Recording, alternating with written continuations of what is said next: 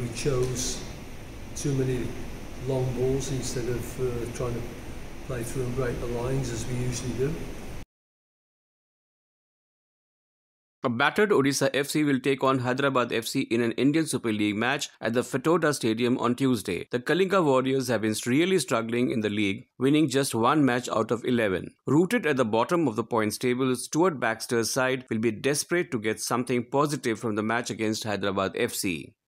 I think the fact the fact that we couldn't we couldn't establish the game higher up the field for two reasons. One was the fact that I think we were a little bit negative in our in our approach, uh, and we chose too many long balls instead of uh, trying to play through and break the lines as we usually do.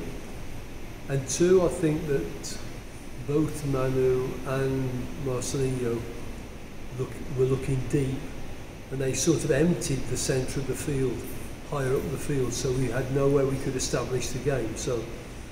I think those two those two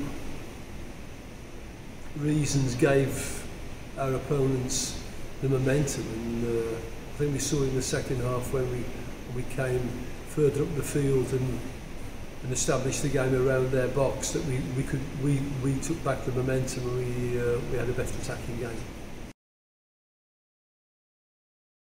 No, we were we were forced to make change in the game because when you have I think I said this to one of the, one of the journalists. You know, we don't, we don't play FIFA manager.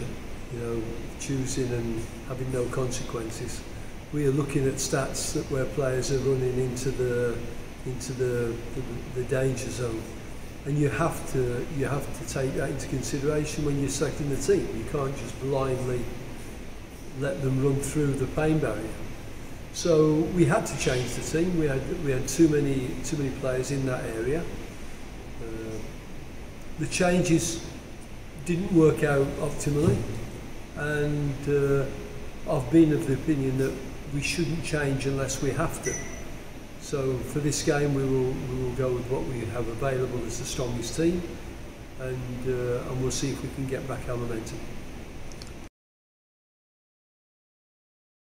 Diego, when he first came, was, I think, used to being, of having maybe some special considerations in defending uh, and leaving himself available to finish any attacks if, if he could get in the game. Now,